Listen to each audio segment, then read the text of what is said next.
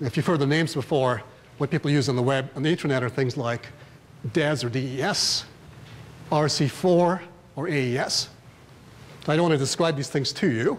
I just want to point out that they're rather simple to describe.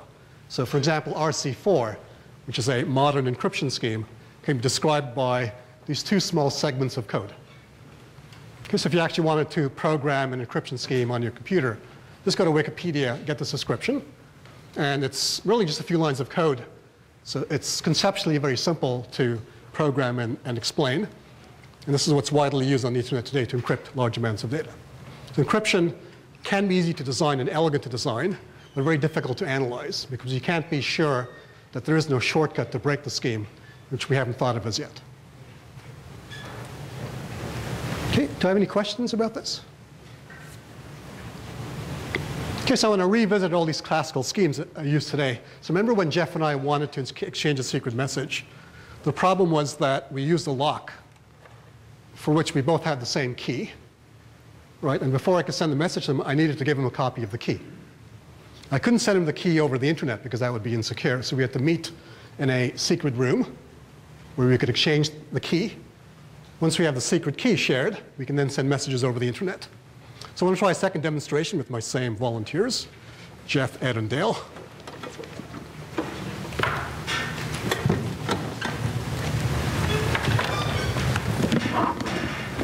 Okay, so once again, I have a secret message I want to send to Jeff over the internet. Again, Dale and Ed are computers along the internet. And this time, though, Jeff is in Vancouver while I'm in Waterloo. Right, so I don't have the option of sort of meeting Jeff quickly on the side to give Jeff a secret key.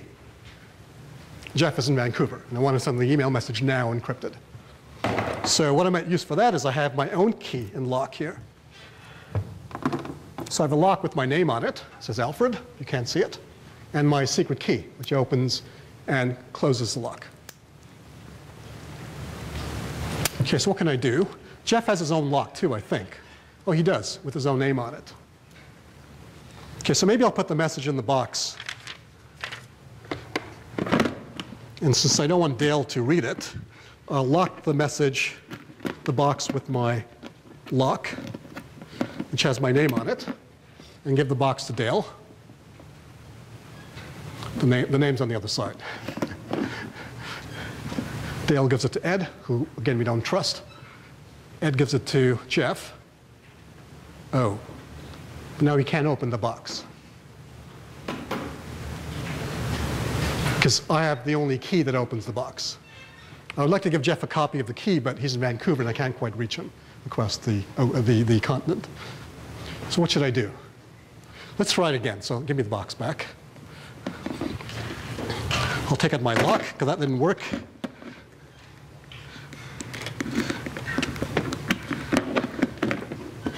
Okay, so again, the message is in the box, and I want to get the message to Jeff without Dale and Ed being able to get the message.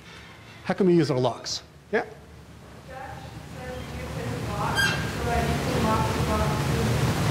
Great idea. So why, why doesn't Jeff send me his lock? Not the key, just the lock. It has Jeff's name on it. It's just the lock. No key there. So, oh great, I put the message in the box. I lock the box, of course, with Jeff's lock. I know it's his lock because it has his name on it, which presumably can't be removed. I send the lockbox to Dale, who can't open it. Ed can't open it. And finally, of course, Jeff gets the box. His name is on the lock. So he uses the key, which only he knows, to unlock the box. Okay, so a pretty simple idea. Thanks, Jeff, Ed, and Dale, once again. So the idea here was quite different. In the previous scenario, Jeff and I had to get together in secret to exchange keys that opened and closed the same lock.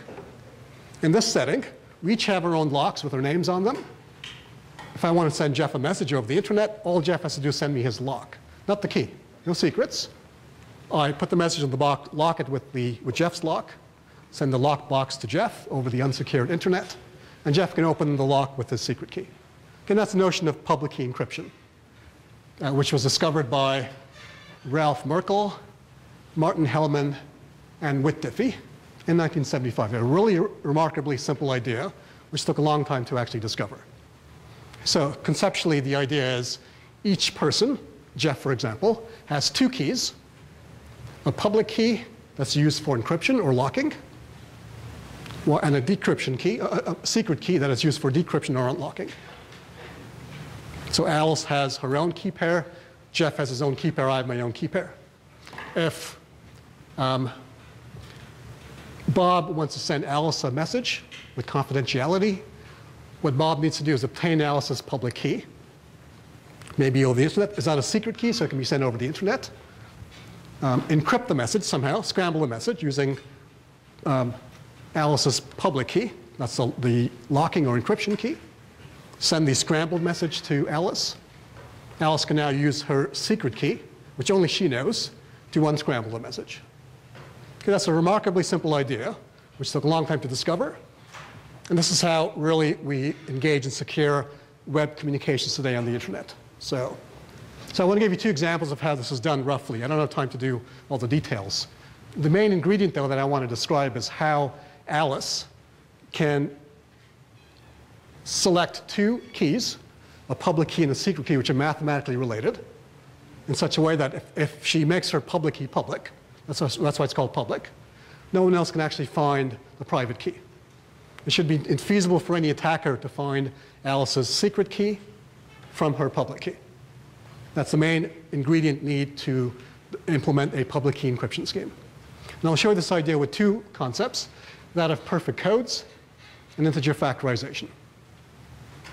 All right, so let me tell you what a perfect code is first. So first a graph, as I've drawn here, not the graphs you draw on the xy axis, a different notion of a graph, consists of a bunch of circles, in this case black circles. Some of them are joined by lines, some of them are not joined by lines. So two nodes, as I call them, are said to be adjacent to each other if they're joined by an edge. So for example, the nodes 1 and 2 are adjacent, while the nodes 1 and 8 are not adjacent. They, don't, they aren't joined by an edge. So given such an abstract graph, a perfect code for the graph is a collection of nodes, a special collection, having two properties. The first is that every other node in the graph is adjacent to exactly one of these selected nodes. Okay, not zero, not two, but exactly one. And the second property is that, which I didn't write down on the activity sheet, so I should write this down, uh, that no two of the selected nodes can be adjacent to each other. That's what a perfect graph is for, this abstract thing, which I've called a graph. Can somebody give an example of a perfect code for this graph, the cube graph? Yes? Two and seven? Yeah, the nodes two and seven form a perfect code because, first of all, they're not adjacent to each other. Secondly, you can check that every other vertex in the graph is adjacent to exactly one of the node 2 or the node 7. Another example might be the nodes 1 and 8. And in general, any two opposite corners of this graph form a perfect code. Okay, here's a slightly more difficult example. Can someone find a perfect code for this graph? So I want some of the nodes with two properties. Every other node is adjacent to exactly one of the selected nodes, and note the selected nodes are adjacent to each other.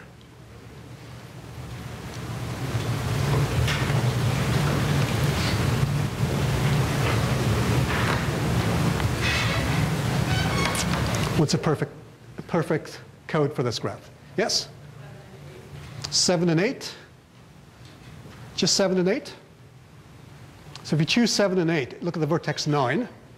It's not adjacent to either 7 or 8. So that can't be a perfect code, right? Just 7 and 8. Yes? 7, 8, 9. Yeah, 789. So let's try that.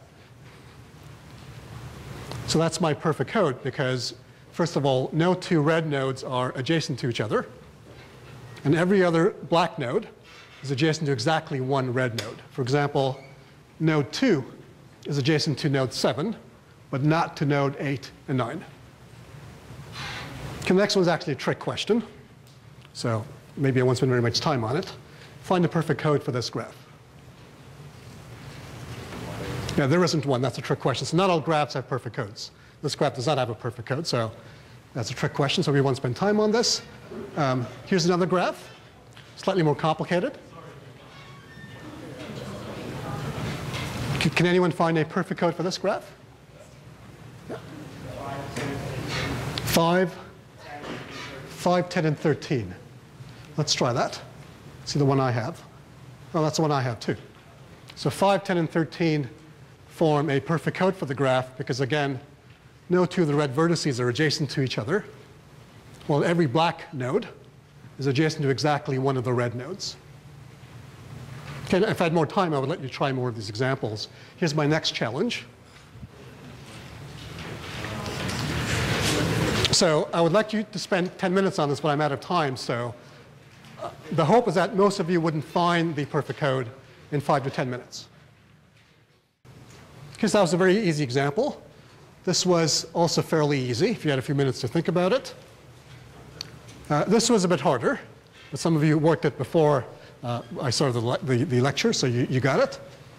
This is a lot harder.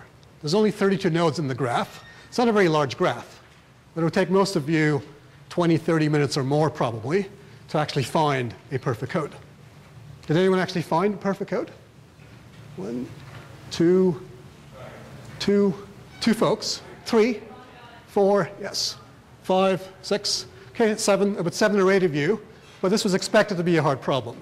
In fact, it's known that this problem is so-called NP-hard. So if you've never heard the phrase before, computer scientists study a lot of problems like this on graphs. They're useful problems because a graph can model, for instance, a computer network where the, the uh, nodes may be computers and the edges might be links that are active between two, two such computers. And they study networks with certain properties, like how connected is a network, for example. Okay, some of these problems are very hard. And they spend years studying these hard problems and they can't solve them.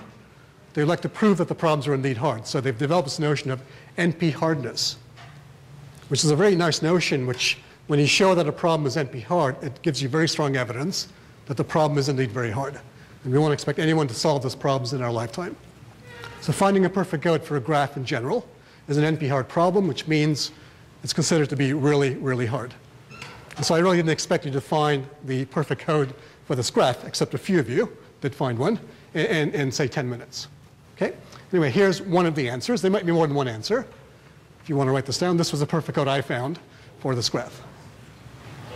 So the nodes, I'll read them out. Three, three, six, 10, 16, 22, 25, and I left out 13. 1, 2, 3, 4, 5, 6, 7.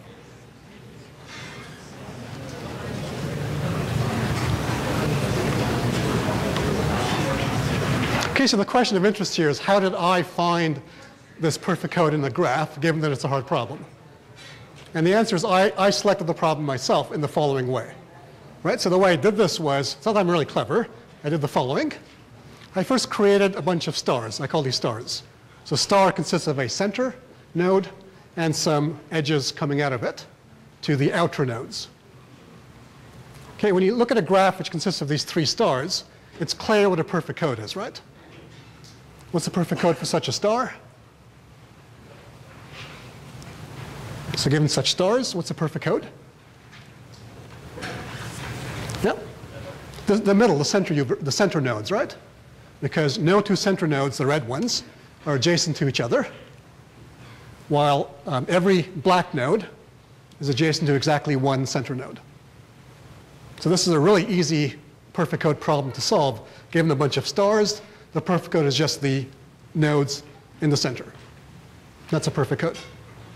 Now I want to take this easy problem, making it to a hard problem. So here's what I do. I've written this down on the activity sheet. What you do is to make this look, look like a hard problem, you take black nodes, like this one and that one, and you join them by an edge. So you add a bunch of edges to make the graph look complicated, and all the edges you add have to join black nodes. They can't go from a black node to a red node, or from a red node to a red node. They have to join black nodes. And here's what I've done next. Here's the same graph as before, three stars. You see the stars now? Here's the first star, the second star, and the third star. And I've joined a bunch of random edges between black nodes.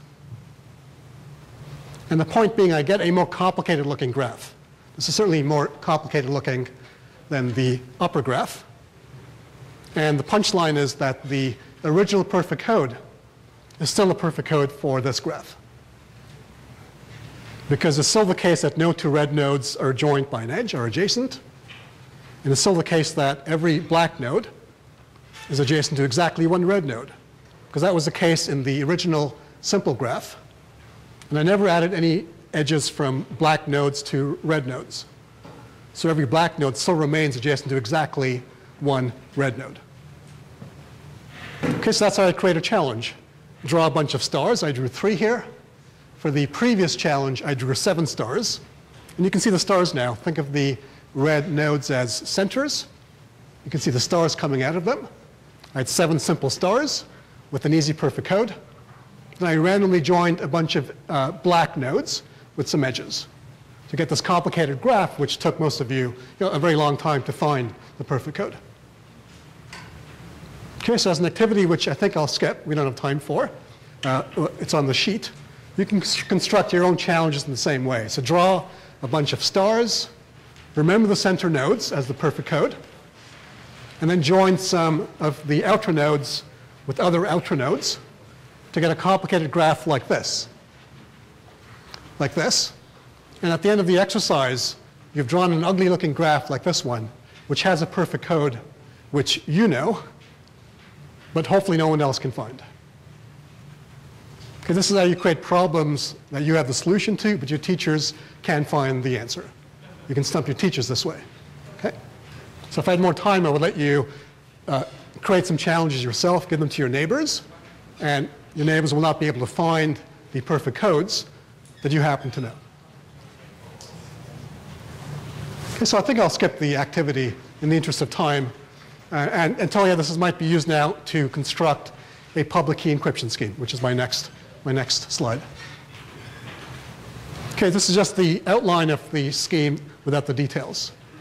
So remember in the public key encryption scheme, um, Alice has a pair of keys, a public key and a secret key, which are mathematically related. The public key is known to everyone, while the secret key has to be your secret. So an attacker shouldn't be able to find Alice's secret key from her public key, otherwise it wouldn't be called a secret key. Okay, so with this perfect code um, example, Alice would select a very large graph, maybe with a thousand nodes, a very complicated graph, which has a perfect code which only she knows. So she cleverly creates the graph where she knows the perfect code, adds random edges to make the perfect code really hard to find. Okay, so then her public key is the graph. Her secret key is the perfect code which only she can find, because finding perfect codes of large graphs is a very hard problem. Okay, so in my example, this is a smaller example, this would be my public key, which everyone can see, while my secret key would be the perfect code, which presumably only I can find. Some of you didn't find it, some of you did, but if you didn't find it, the perfect code would be my secret key, which only I knew namely the red, red nodes in this picture. All right, so Alice picks a graph. That's her public key. The perfect code is her secret key.